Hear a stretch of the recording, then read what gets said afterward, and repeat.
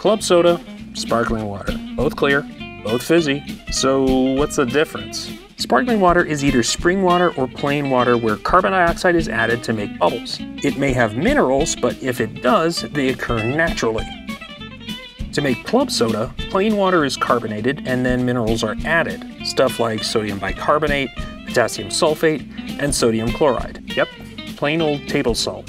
Anyway, club soda has a slightly minerally taste, but is mostly flavorless. So, club soda, bubbles, minerals added, Sparkling water, bubbles, no minerals added, but there still may be some. But what about seltzer? When there are no minerals, your sparkling water is seltzer water. The name seltzer was originally like a brand name for fizzy water from Selters, Germany, which ironically came from a natural spring, so it had minerals.